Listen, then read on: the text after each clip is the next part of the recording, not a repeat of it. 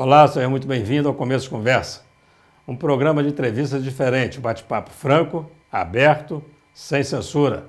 O Começo de Conversa é produzido pela UNEC TV e retransmitido pelo Super Canal TV e pela TV Sistec. Ele também pode ser acompanhado pelas redes sociais.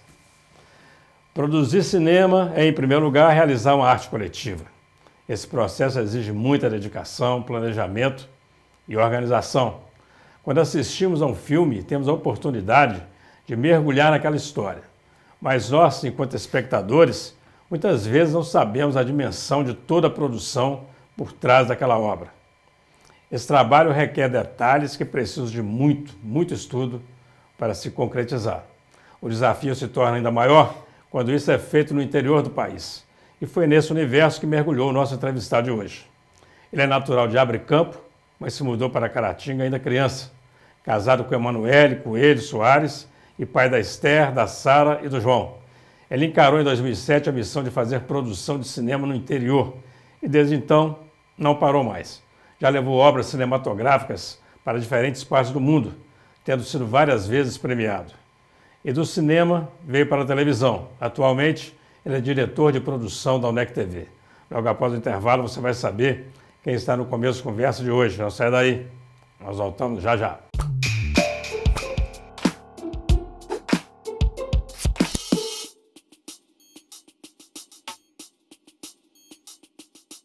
Olá, estamos iniciando o primeiro bloco de mais um Começo de Conversa, um programa da UNEC TV, que é transmitido também pela TV Sistec e pelo Super Canal TV. Vamos agora ao quadro Você na Tela, do Começo de Conversa. Oi, eu sou a Cora Machado, eu moro no Rio de Janeiro e sempre tô ligada no Começo de Conversa pelo YouTube. Adoro as pautas do programa. Queria mandar um abraço pro Eugênio e para todo mundo da equipe. Tchau, tchau! O nosso agradecimento, nosso abraço à jornalista Cora Machado. Você também pode aparecer aqui no começo conversa. Envie seus comentários, a sua sugestão ou seu recado através do WhatsApp 0339 8899 2831. A primeira invenção que permitia filmar e projetar imagens animadas surgiu na França. Em 1895 aconteceu a primeira apresentação pública de um filme, graças ao cinematógrafo que foi criado pelos irmãos Lumière mais de um século depois, o cenário é outro e facilmente temos acesso a diferentes produções de cinema. No programa de hoje, vamos embarcar nesse universo e conhecer os desafios e os prazeres de criar obras audiovisuais, especialmente no interior. Quem veio compartilhar conhecimento com a gente é o Márcio Heleno Soares. Márcio. Obrigado. Seja muito bem-vindo aqui ao Começo Conversa. Tá bom? Joia demais. Máscara de Abrecampo. Isso, Abrecampo. Eu nasci em Matipó, bicho. É pertinho. Ali pertinho. Sim, pertinho. São, são vizinhos sim, ali. Sim, E você veio pequeno para Caratinga? Mas eu fiquei um tempo em Belo Horizonte, né? É. Aí depois eu já vim para Caratinga. Eu assim, morei muito pouco em, em Abrecampo. Né? Recentemente, deve ter uns seis anos, eu fui visitar só para né, É. pra conhecer a cidade, assim. E mas- você, você, você foi para Belo Horizonte para onde quê? Para estudar? Não, eu fui para Belo Horizonte, assim, foi quando eu ainda criança, né? Quando eu vim para cá, eu ainda eu estava com uns 10 anos por aí. O de- 8 a 10 anos. Ah, tá. Depois você foi criado em Caratinga. Sim, fui mesmo. criado em Caratinga. criado aqui na sim, cidade das sim, Palmeiras. Sim, né? sim. Eu me considero Bacana. caratinguense. Bacana. É. Rapaz, o que, que te levou a, a- a- a se interessar por cinema? Mas acho que o cinema, para mim, é uma paixão de infância, né? É. É desde criança, sou um cinéfilo, né? É, digamos assim. E, assim, eu tenho uma memória, assim, que ela é bem, assim, bem, assim, uma das primeiras memórias de- do, envolvimento com o cinema. O meu pai, ele era, ele era técnico em eletrônica, né? Então, assim, pelo, embora eu tenha crescido na periferia, assim, pelo fato de ele ser técnico em eletrônica, eu tive, consegui ter acesso, assim, a muitos aparatos tecnológicos, né? Ah. E teve uma situação que ele ganhou um, um projetor de cinema, né? É. É um projetor de cinema. Aí eu ele falou assim, ah, não vou fazer nada com isso. Me deu o projetor. Eu falei, pai, eu quero esse projetor para mim e tal. E eu fiquei com aquilo no quarto, fiquei viajando naquilo e tal, tentando entender como é que funcionava e tal. E eu não conseguia fazer funcionar, né? Então, adolescente ainda? Não, era criança. Criança, Era né? criança, bem criança. Tinha uns 6, 7 anos por aí. Aí eu. Aí eu peguei aquilo assim, peguei, tinha, o- tinha um, o rolo, né? De, de filme, peguei, tô olhando aquilo e tal. E fiquei, fiquei encantado com aquela situação. Eu queria, de alguma forma, conseguir fazer aquilo funcionar, porque eu, eu gostava de histórias, né? E eu queria entender aquilo. Depois eu fui, fui crescendo, eu fui entendendo que aquilo, na verdade, era um filme para maior de 18 anos, né? Talvez Freud explique, né? Tinha coisa boa lá. É, tipo, mas é, acho que foi uma das primeiras memórias. Assim, eu tinha, óbvio que quando você é criança, você sempre tem um contato com televisão, tá. né? Com, com, eu tinha, eu gostava muito de quadrinhos, né? Eu tinha, assim, eu, graças a Deus, assim, é, a minha infância foi boa e minha família me deu acesso a isso. Então, acho que tá. isso contribuiu para isso. E, e, nessa época sua, tinha cinema ainda em Caratinga? Porque Caratinga teve um período com cinema, depois ficou sem cinema Sim. e agora o cinema voltou. Olha, não, eu não, assim, na infância mesmo eu tive com cinema, com a sala de cinema, é. né? Eu tive, eu tive assim pouco, pouco contato na infância, contato. né? É, porque assim, a situação sim, porque se a gente pega o conceito de cinema em si, o que é cinema? Né? Cinema são imagens em movimentos. Uhum. Inclusive eu tenho uma teoria de que o primeiro cinema mesmo acontece dentro da cabeça quando você está sonhando, quando você está é. pensando. É. São imagens em movimento. Né? É, aí assim, com a sala de cinema em específico, eu fui ter contato um pouco mais tarde, já na adolescência. É. é. E, e, e com o primeiro filme? Quando é que aconteceu o primeiro contato seu, ou como ator, ou como diretor, ou como Sim, produtor? Não, foi com, com, como, como diretor. Assim. O que, que aconteceu, né? É, a gente, assim, se você pega assim, o cinema na década de 90, no início, assim, depois que na virada do século ali, assim, você fazer cinema nossa, tá, era, era, muito difícil, né, Eugênio? É. Era muito difícil produzir cinema. Ainda é, né? Mas naquela época era mais é complicado. É muito mais, é porque para você produzir cinema, qual era a situação, qual era o contexto que você tinha? Você tinha que fazer cinema com película. Né? Eu te falei a situação do projetor, é. porque, inclusive, ter acesso a um projetor era a coisa mais difícil do mundo, né? Então você tinha que ter acesso a filmar com película. Para você ter ideia, para você revelar uma, um minuto de, de, revelar um minuto de película é quase dois mil reais. É mesmo? É, quase dois mil reais. É. E o revelar é mais ou menos parecido com revelar aqui a fotografia sim. antigamente, que é para um quarto escuro, sim, sim, uma câmera escura. Parecido, o corte ali, entendeu? É mesmo? Ele era diferenciado. Então, quer dizer, para fazer cinema era assim, difícil. Aí o que, que aconteceu? Começou a surgir na década de 90 que foi aqueles movimentos do VHS, né? Assim, ainda não foi, não peguei isso não, mas Assim, historicamente foi isso. O que aconteceu? Aconteceu o movimento do VHS, a galera começou a filmar com VHS, mas ninguém queria exibir filme de VHS, pouca gente queria exibir, né? Ainda o que permanecia na, na, na, sala de cinema era o quê? Eram os filmes de é filme. Película, película. película. Mas aí o que, que aconteceu? Em 2005, né? Foi mais ou menos em 2005 que começou a ter um, um movimento meio que de vanguarda, né? O que, que aconteceu? O primeiro celular com câmera que as pessoas tiveram acesso foi em 2005, né? É, Aí o que, que aconteceu? Começaram a, pensar, começaram a pensar, peraí, peraí, tem um celular com câmera.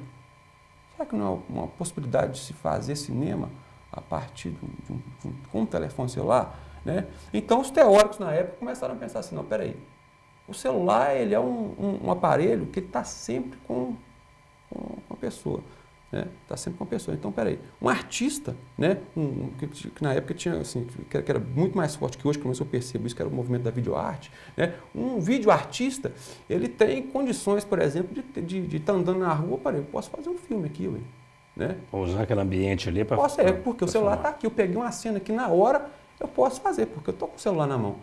Então, esse começou a surgir, a partir dessa premissa, o quê? Um movimento de, de vanguarda que era o dos pocket filmes. Né? Os pocket filmes, que eram os filmes feitos com celular. Né? E para mim, né, no caso na época, assim, eu tinha uma amizade muito grande, eu tenho uma amizade muito grande com o Leandro. O Leandro foi um grande parceiro nessa, né, o Leandro Martins, acho que você até entrevistou ele aqui, né? Sim, é um grande parceiro nessa jornada. Ele, a gente, a gente pensou, a gente viu nisso uma possibilidade de, de produzir. Só que na época as pessoas elas tinham para esse grupo né, de, de vídeo artistas, essa era uma possibilidade de se ter o celular em mãos para fazer qualquer hora. Para a gente era outra.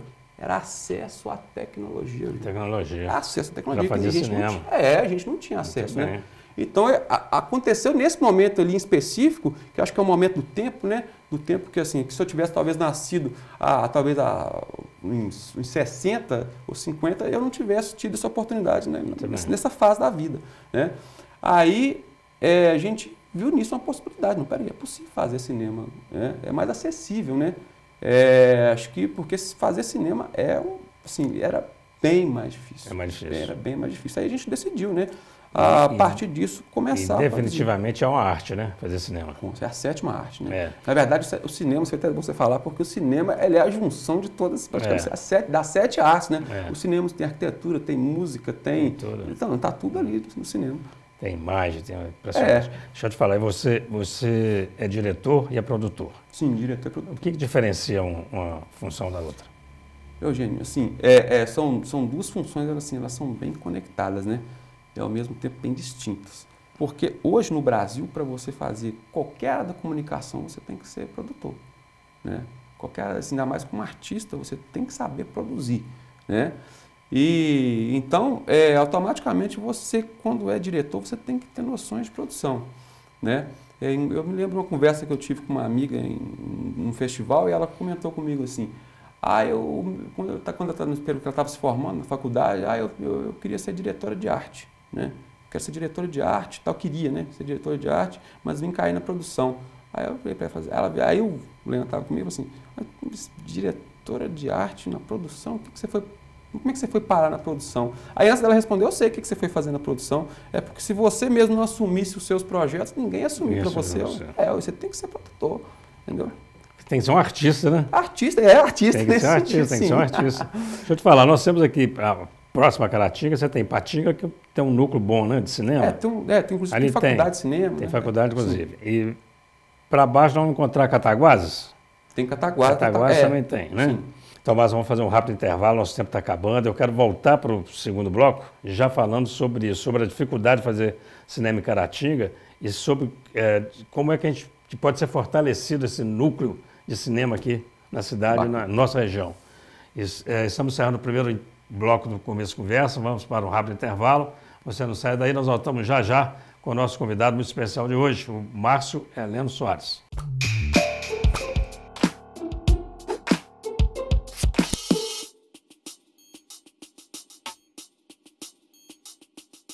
De volta com o começo conversa, hoje estamos recebendo o Márcio Heleno Soares, que há 12 anos embarcou no universo da produção de cinema.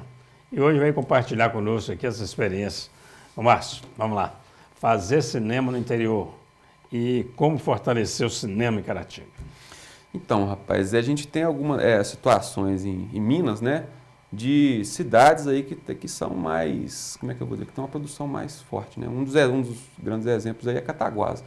O caso de Cataguás é porque ela, ela, ela a Cataguás ela tem um, um, envolvimento histórico né, com o cinema, né, que, que, dentro da história do cinema a gente tem um ciclo de Cataguás, né, que, que Humberto Mauro já produz muito cinema lá e tal, que são produções que vieram a ter um, um respaldo nacional. Cataguás também tem a situação, a questão de ela estar próxima ao Rio de Janeiro, né, fica cerca de 300 quilômetros.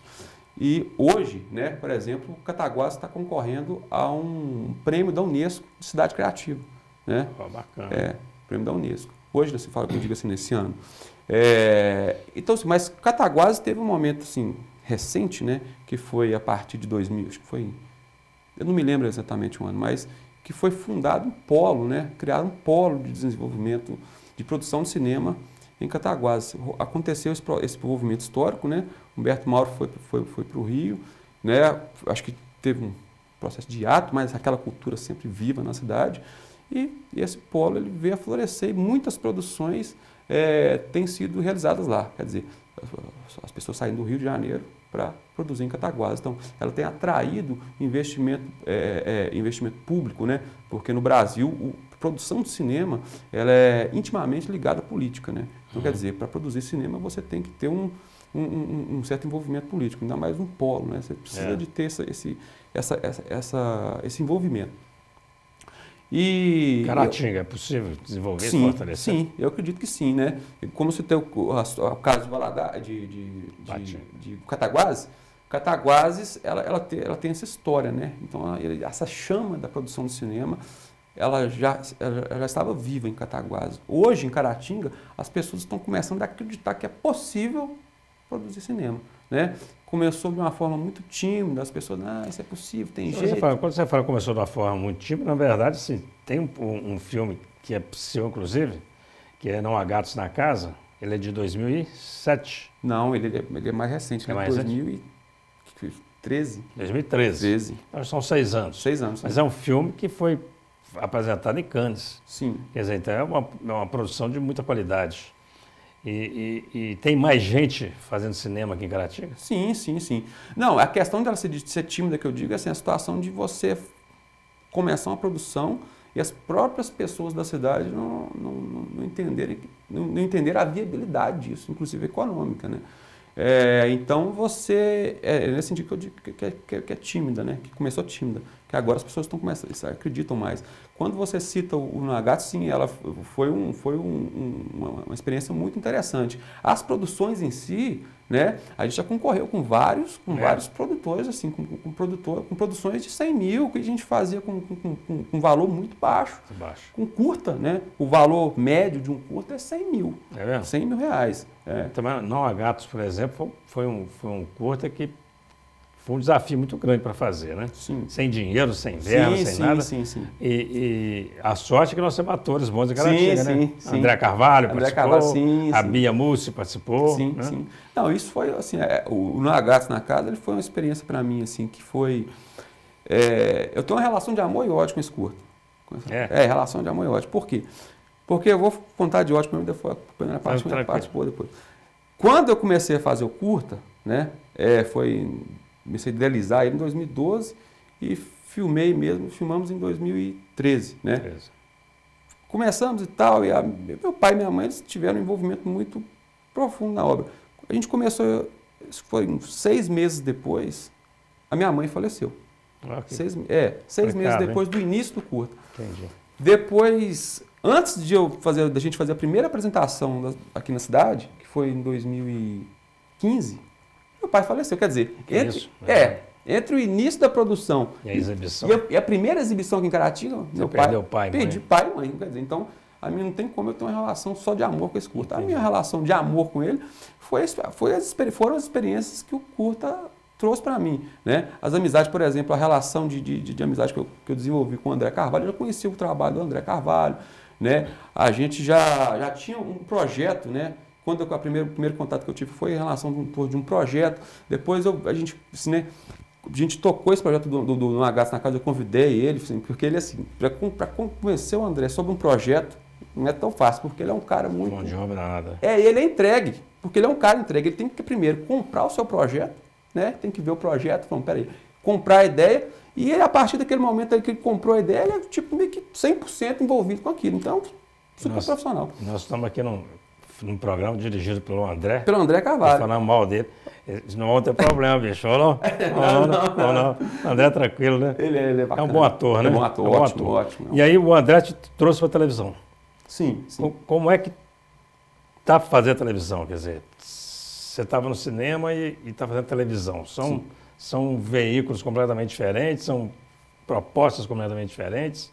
Como é que você está sentindo? Não, eu, eu, eu, eu Discorda, desculpa, eu vou discordar. Não, pode discordar, é. Mas assim, eu não acho que é tão diferente. Eu estou perguntando sim, até. Sim, é, porque eu acho o seguinte, por exemplo, porque o, a, a TV, ela vem do cinema. Né? O cinema é o, é o, é o, é o princípio de tudo. Por exemplo, o mercado de cinema é bom por quê? Porque a partir do cinema, a galera que estuda, que faz a faculdade de cinema, ela tem um campo muito aberto, ela pode trabalhar com TV, publicidade, entendeu? Ah, por exemplo, quando a Globo, a Globo começou a despontar mesmo, começou, porque tinha a concorrente dela era a Tupi, né? Ela começou a despontar, ela começou a trazer o pessoal do cinema, do cinema e do teatro. Entendi. Entendeu? Você fala o pessoal técnico. Técnico, é. Ah, muito eu, bem. É... Porque o ator, o ator, ele, ele, ele fala que tem muita diferença entre fazer cinema e fazer ah, televisão. Ah, não, mas aí são dois pontos são, diferentes. São, é, são sim, diferentes. sim, pro diretor... O ator acha complicado, mas para o diretor, então, é que a coisa não é tão não, diferente sim, assim. não, é porque assim, qual a situação do teatro? Vou dar um exemplo do do ator de teatro. O cara que faz teatro, ele tem muito, ele, tem, ele, trabalha muito com a expressão corporal, ele tem que se expressar através do corpo. Né? Quando ele vai fazer cinema ou TV, já é diferente. Né? Por exemplo, TV, geralmente, ah, você bota, é, assim, tem, como tem que ser uma produção mais rápida, né? bota três câmeras ali, tudo acontece ali e vai uhum. fazendo de forma simultânea. No cinema, que é, uma, que é, uma, que é uma produção mais, geralmente mais cara, que é mais, né, que é mais demorada, né? o que, que acontece? O, o, a, a, o plano ele é diferente. Por exemplo, o ator vai fazer um plano, ele, ele pode fazer o final, do, da, da, da, do o clímax da interpretação dele pode uhum. ser no começo e o final Sim. depois. O filme Não Há Gatos é, é, um curta de quantos minutos? Tem 15, né? 15 minutos. 15 minutos. Quanto tempo demorou para ser? Para estar tá pronto? Para estar tá pronto. Paz, Entre começar e terminar? Foi de 2012 a 2015. É mesmo? É. Mas por que que, Não, porque é o seguinte, qual que é a situação? Tirando Sim. os reveses, né? Sim, sim, sim. Pai adoeceu, mãe adoeceu. Sim, sim. Mas se você se concentrar Ah, se mesmo, vou, vou concentrar, concentrar no curta. Sim. Assim, Então, para ficar bem feito a ponto Sim, de ser sim. apresentado em Cannes. Né? Sim, então não sim. pode ser qualquer curta. sim, eu vou te dar um exemplo, por exemplo, do processo de maturação do roteiro. Uhum. Né? Quando você tem a primeira ideia do roteiro, você não vai chegar simplesmente e, ah, eu escrevi o roteiro e vou filmar. Não, não funciona assim. Você faz um roteiro, geralmente ele passa por diversos tratamentos. Né? O tratamento é o seguinte, você escreve o roteiro, outra pessoa vai lá e faz um tratamento. Aí depois você vai realiza outro tratamento. Você vai tratando o roteiro. Você divide, tem, tem roteiro, tem 10 tratamentos, 12, 15 tratamentos. Né? É, porque assim, o cinema é a arte mais cara, é uma das artes mais caras para se fazer. Né? O que, que acontece? Você, de certa forma, você não pode simplesmente, ah, eu vou fazer um filme para mim. Você tem que fazer um filme que, de alguma forma, ele vai, ele vai, ele não pode dar errado. Não pode dar de tudo errado, porque, primeiro, ele tem investimento e você, como geralmente, assim, boa parte das vezes você faz com investimento público, e quando você faz com investimento privado, você não quer perder dinheiro, né? você quer, no mínimo, ter algum reconhecimento com aquilo, então você tem que, você demora esse tempo. As né? pessoas têm que gostar, né? Você tem que gostar, você tem que ter uma paixão. As pessoas faz, também assim, a têm- outra- é isso, sim. Né, o As público, quer dizer. Sim, o público. É por isso que você não faz um filme para você, você faz você tem que pensar. para você, mas para os outros gostarem. Sim, Né? sim, sim. É bem complicado. É, é nesse sentido, sim. O Márcio, a conversa está muito boa, a- a- o papo está muito bom e o tempo passa rápido demais. Então vamos fazer um rápido intervalo, vamos voltar pra, no terceiro bloco, infelizmente vai ser o terceiro e último bloco, para a gente falar mais sobre cinema, do seu trabalho na TV, ok? Você não sai daí, vamos para o rápido intervalo, daqui a pouco a gente- a gente volta para continuar o bate-papo aí com o Márcio Heleno Soares. Não sai daí, nós voltamos já já.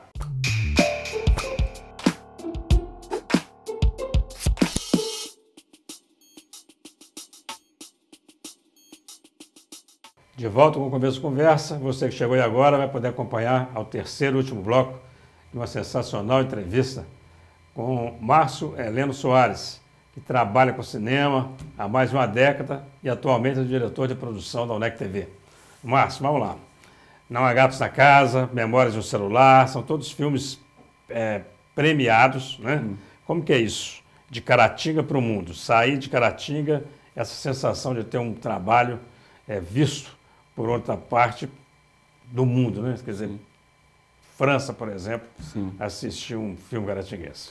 Ah, a sensação de, de, de satisfação, né? De ver que você tem, que a gente tem empenhado, né? É, que você empenha num projeto você, e você obtém um reconhecimento dele. Isso é muito satisfatório. E ao mesmo tempo estimu- estimulante a você entender que, aquela, que a- que a situação é viável, né? Que é possível fazer, não só para a gente, mas como para diversas outras pessoas que podem, né? Hoje ter acesso à tecnologia e conseguir se comunicar através disso. né? Isso é satisfatório. Bacana. E, no- e- e tem também uma, uma participação sua importante no longa, Sim. num longa, né? Metragem, que é o Planeta Escarlate. Planeta Escarlate, é, na- é, assim, na verdade a gente chegou a produzir, produzimos dois longas, né? É, É, o Planeta Escarlate ele é uma coprodução nossa com, com Delane Lima, né, com a produtora dele, Colégio Invisível, que é, ele é pernambucano, mas ele faz parte do, daquele grupo de BH, né? Ah, bacana. Ele- é. Aí a gente chegou a fazer, trazer esse filme, nós trouxemos para, o filme foi rodado em Conceição de Ipanema, ah, né? bacana. Aí nós fizemos, tivemos todo um apoio da prefeitura da cidade, ó, se Ah. movimentou, assim, foi uma situação que realmente movimentou a cidade, né? É, então foi, foi interessante trazer. Aí o filme estreou, foi em 2000 e- acho que foi em 2015 ou 2016, não me lembro, em Tiradentes, no Festival Tiradentes. Então Ah, foi, bacana. foi uma experiência interessante, foi bacana. O outro longa é qualquer. É o cineasta do Leandro Martins, né? Que a gente, eu fui inclusive o primeiro longa rodado em Caratinga, ele foi rodado através do de edital do filme Minas, né? É, que inclusive está extinto. Foi, foi, um, foi bem interessante também. A gente conseguiu, é, é, na verdade a gente aprovou um projeto, um, um orçamento de curta, né? Era um projeto de curta, a gente com esse valor a gente imaginou que seria viável fazer um longa. Então a gente fez um longa com orçamento, com baixíssimo orçamento, com orçamento em torno de 70, 80 mil. Eu sei que é uma, é uma coisa muito difícil para o artista, né? Ele avaliar o trabalho dele Sim. e escolher aquele trabalho que é o trabalho. Falei, esse é o que eu gosto mais. Eu Sim. sei que isso é muito complicado. Isso acontece com o escritor Sim, também. sim, Eu sim. Tem mais de 40 obras publicadas, Sim. eu tenho dificuldade. Mas eu acabo elegendo, quando eu falo uma obra minha, eu falo a biografia do Monsenhor Raul. A que me deu mais prazer de escrever, né, foi a mais demorada, é uma obra maior. Quando você olha o seu trabalho, tem algum filme que você fala, esse é o meu filme?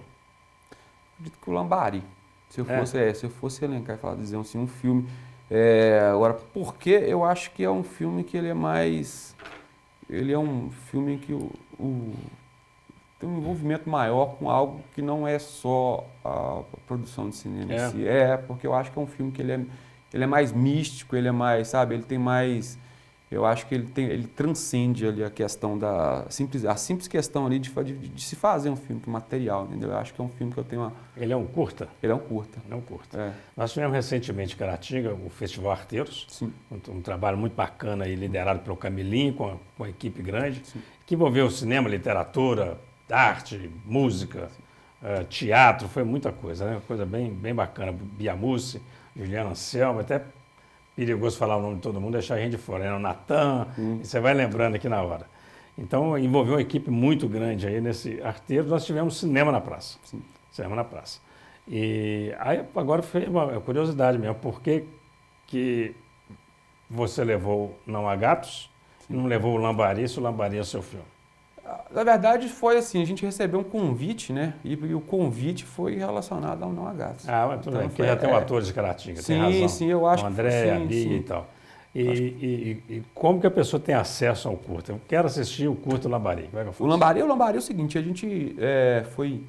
Foi ano passado, ele foi disponibilizado num canal que chama Meus Dois Centavos, ah, que é do Tiago Belotti, que é um diretor, que é um diretor, ele que é do Carioca, se eu não me engano, o paulista ele, assim, a gente, ele, ele abriu um espaço no canal dele e tal, e a gente conversou e ele disponibilizou o canal. O filme hoje está disponibilizado no canal Meus Dois Centavos, né? Foi, tá. foi interessante para a gente receber um feedback, assim, na rede do, do, do filme. E ele está disponível também numa plataforma de streaming, que é o, o Snapcine.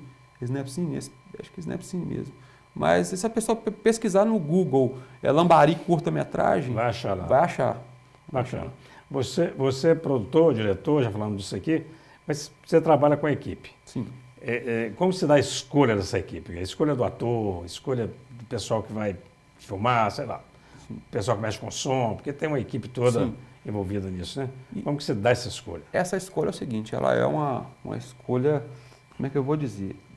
Ela é muito relativa. Por exemplo, com a equipe, geralmente você busca formar uma equipe que você tem entrosamento, né? Que às vezes você mas você olha para o diretor de arte, o diretor de arte já, pô, então é isso e tal. Tem todo aquela, aquele contexto. Então existe um entrosamento entre a equipe. Então, então a química também ali. Então, a química, é. Né? Em relação ao ator, geralmente eu acho que é meio que, que, que paixão mesmo. Entendeu? Você olha para a pessoa e fala, essa pessoa tem que fazer um filme e você, esteticamente, você, pelo menos para o diretor, existe aquela, aquela, aquela situação em que você vai, eu preciso fazer um filme com fulano e botar é. fulano. Não é assim, ah, eu vou escolher porque é mais fácil, não. não eu é, queria não é assim. entender assim. isso. Pois é, até bom você falar isso, eu vou, eu vou esticar essa pergunta um pouquinho. Você, você tem um filme, você tem uma ideia na cabeça e aquela ideia você fala, quem faria bem para mim isso aqui é o ator tal. Sim. Ou você olha para o ator e fala, não, eu tenho que fazer um filme para esse cara, porque esse cara é muito bom. Sim. Olha, é, existem essas duas As possibilidades. Duas ah, recentemente eu estava conversando com um colega meu de. Ele mora na Paraíba e ele estava tava produzindo, produzindo um longa e tal. Aí eu falei assim, rapaz, mas eu acho que essa personagem, ela. Eu acho que o ator, você não acha que o ator está com, com, com. A idade diferente? Ele falou, não, porque eu acho que eu preciso fazer um filme para esse ator. E são dois pontos de vista. Dois pontos de vista diferentes.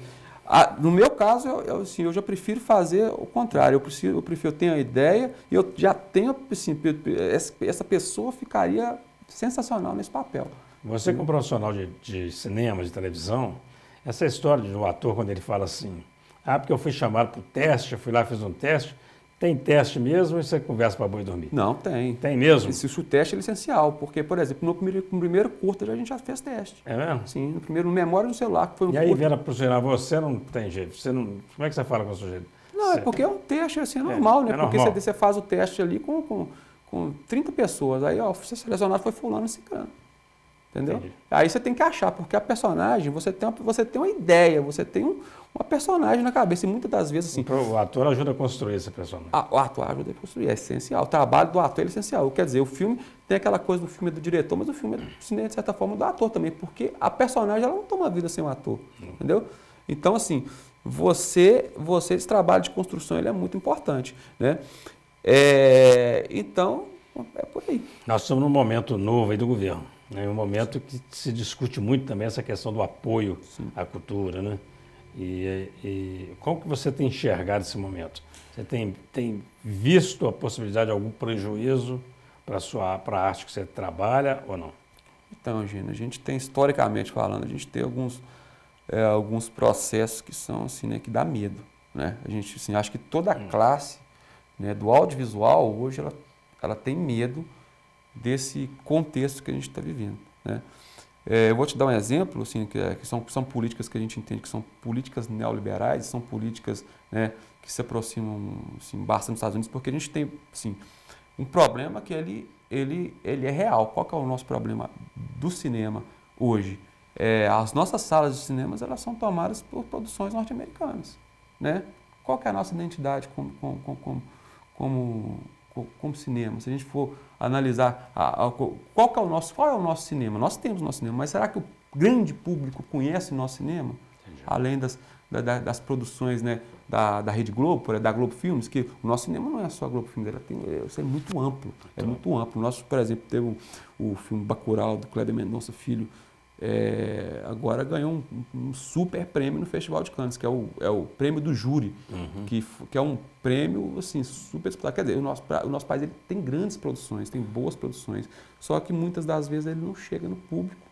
Entendeu? O público talvez também, e o público talvez tenha um, tenha um pouco de, de, de, como é que eu vou dizer, de, de resistência por causa dessa formação. Né? É então nós também estamos nem falando mais de um governo, estamos falando de sucessivos governos Sim, da não, maneira de chegar. Não, mas aí nós temos um problema que eu, eu acabei me perdendo na resposta aqui, mas eu vou te dar um exemplo, que foi na década de 90, quando o Collor assumiu, né, que a Embrafilme, que era na época quem, quem, quem produzia uhum. os filmes no país, ela foi extinta, nós tivemos o pior período de cinema no país né, que começou a reviver depois só no final da década de 90, que veio depois Central do Brasil, começou a florescer o cinema pernambucano, né, que uhum. acho que nesses períodos de crise também são importantes, porque é, os artistas, eles não param, gente. É. Eles não param, não. Eles, eles, eles arrumam um jeito de fazer, eles continuam trabalhando, né?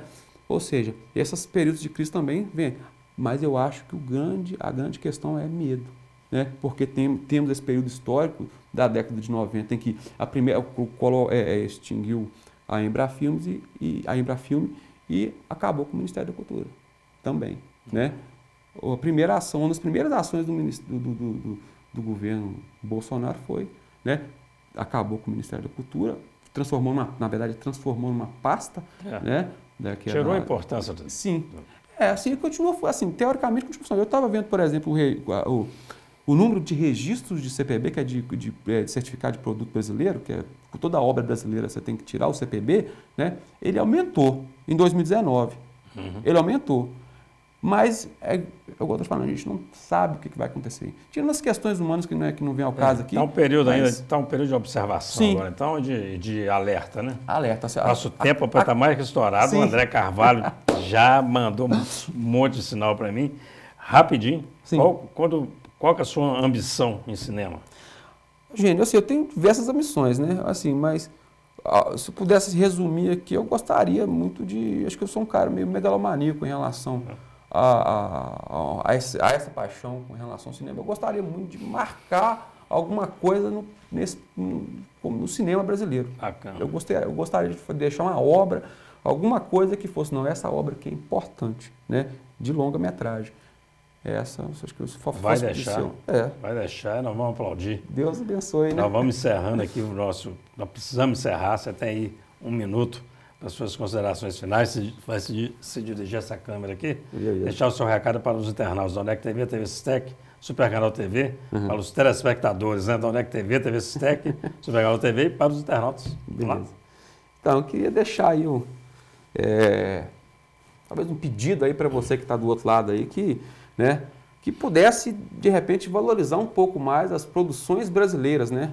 Se pudesse, sim, porque hoje o nosso, assim, a gente recebe muito, muita informação do que é feito nos Estados Unidos, mas se a gente puder, né, é, aí ter um pouco mais de atenção com o que é feito no Brasil, conhecer mais e não ficar julgando sem, sem entender aquele contexto, as histórias que são contadas, né? Porque querendo ou não, que é produzido no Brasil é o que nós somos, né? Nós somos brasileiros e esse cinema é o nosso cinema.